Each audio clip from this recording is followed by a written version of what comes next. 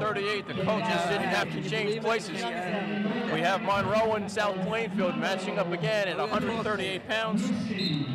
For, for Monroe, the number one seed, Chris Muce, and for South Plainfield, the number two seed, Dan Hedden, and probably one of the most, probably the most competitive match, maybe the best match of the night. I just came from the record. Muce comes in at 21 and 2 on the senior. He's a senior. Season, he's a senior. He is the defending 132 pound champion here in the GMCs.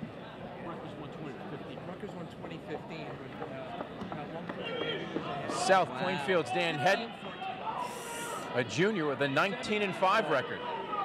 Came in second. These guys in a tough matchup here as Hedden gets the takedown.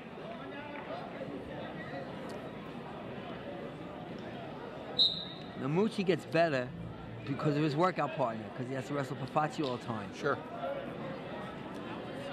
Well, I was commenting at 285 and 220, you have the, the uh, Yeah. Picaro brothers, the same thing. They're working with each other all the time, probably even at home in the living room. Oh, I can imagine.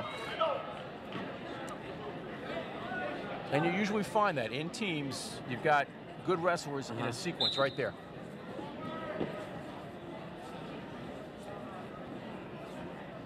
Hedden's filled out well. He started out as a 13 pounder, and now he's all the way up to 38, so he's gaining two weight classes each year.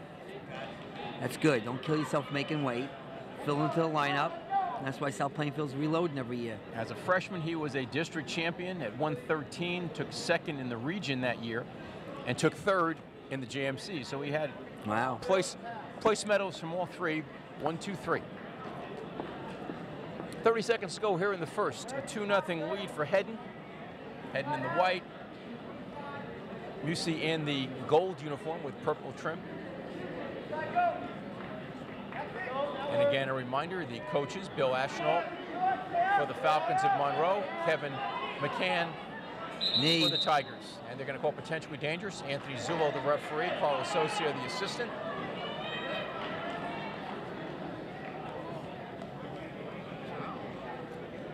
Caution. First Caution one. on Muce.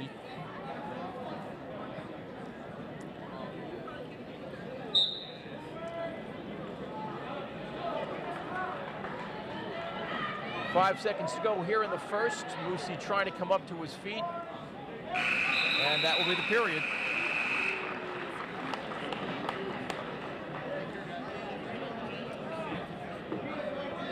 Choice goes to Hedden.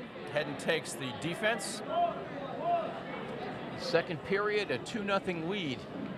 Trying to add to his lead. Quick sit out. Followed by Mus- Muce. Oh, Muce decides to give him the one. yeah, because he could have got one for stalling.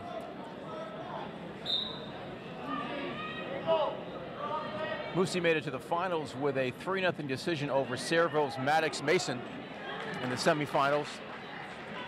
And there is two points for Muce. All right, cut the lead. Hedden made it to the finals with an 11-4 decision over Bishop Ahr's John Sheedy. And an escape for Hedden. 4 to 2. Dan Hedden of South Plainfield.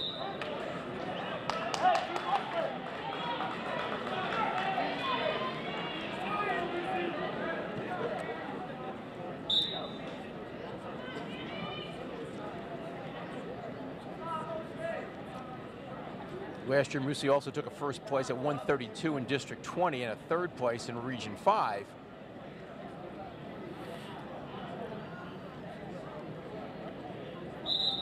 So he is a three-time finalist in the districts. Coming back for his second finals in the GMC tournament, heading in on the on the knee. Countered by Muce. He's got the whizzer. They may call a stalemate on this. Yeah, I see stalemate too. Because he's not going to get that roll through there. He's going to try it. No, he's not going to get it. That's his stalemate. We get it.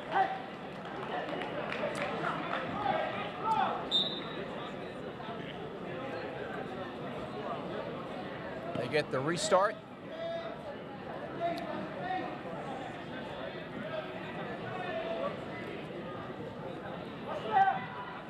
Lucy with a try for a duck under.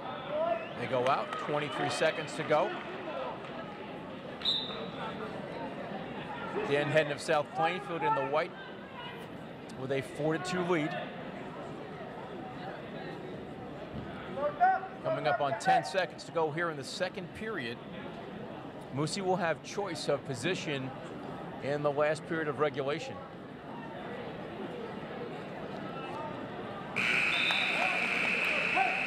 And he goes right to the defense.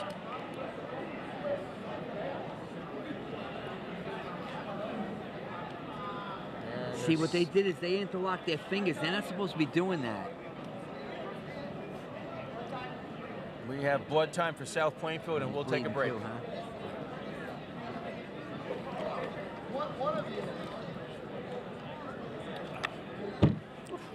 You got the match tomorrow? No, I got my little kid's match. He's, uh, re- he's wrestling uh, up in North Hunters. I heard you met Lance, my buddy, the other day. Lance Seaman, big good, goofy. Yes. He's my best friend from high school. Oh, really? Okay. Wait, wait, Anthony, you, I Iowa match last night. you had friends? He doesn't know anything. We come back, blood time for Dan Hedden. We go to the third period. Chris Muce, Caution, where are we going? Ref Zullo time. Okay. he's taking responsibility now when something happened. Either he made a motion, but he's not going to give a caution on that. Which I think is a fair thing. A lot of referees realize they may have caused something, don't Uh-huh. penalize the, st- the, the wrestlers. matches are being recorded by MyCentralJersey.com. They will be available for viewing sometime early next There's Muce your one. makes his way out. Plus, all finalists will receive a No one's been one for stalling. Nope.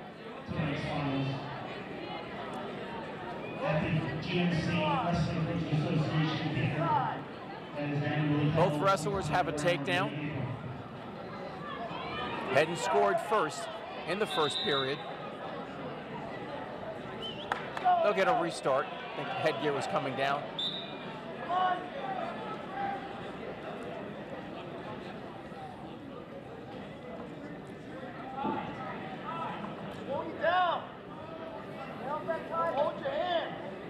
Again, they're interlocking their fingers.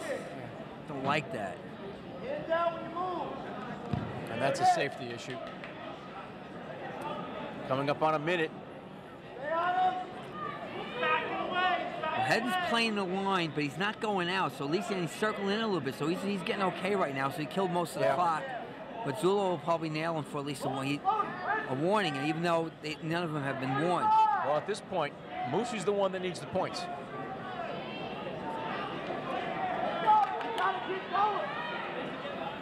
A good shot. Now, it's a little slow and good sprawl by, by Hedden. 30 seconds to go here in the last Oh, and he got period. on the leg. They pull back. Hedden dropped down to the ankle. He's going to try to. He was going to come out the back. No two. No two. There's, There's two. two. That's it. Six to three, 10 seconds to go. Dan Hedden on the lead.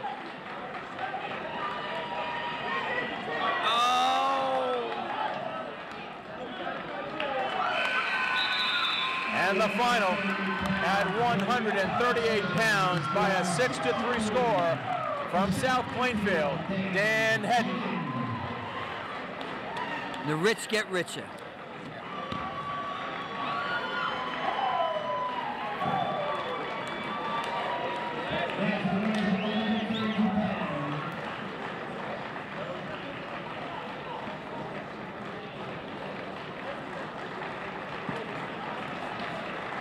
Wisconsin.